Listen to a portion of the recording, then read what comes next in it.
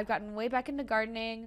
I'm trying to spend more time pole dancing because Mhm. whenever I was stripping, like I loved pole dancing and that was really fun for me. And now I feel lucky because that I kind of like went in reverse with that one because it used to be part of what I did for a living and now it's just something that I do for fun Mm-hmm. and just like for like personal like movement and and you know feeling good. Yeah. Um, and I also have gotten back into playing music which I'm really excited about. Uh, I play the guitar. Okay. And the harp now. That's a new one for me. I got a harp and I'm playing the harp. It's really fun.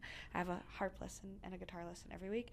And I play the piano as well. But that one I grew up playing. And I'm going Mm. to try to further my skills with that as well. And I'm also trying to learn Ableton, which is like a music production software. Because I'd like to sample myself playing harp or guitar or whatever and make cool beats with it if I can get to that skill level. And I'm I'm lucky enough that one of my one of my fans supporters got me Ableton just because I expressed that I was interested in it.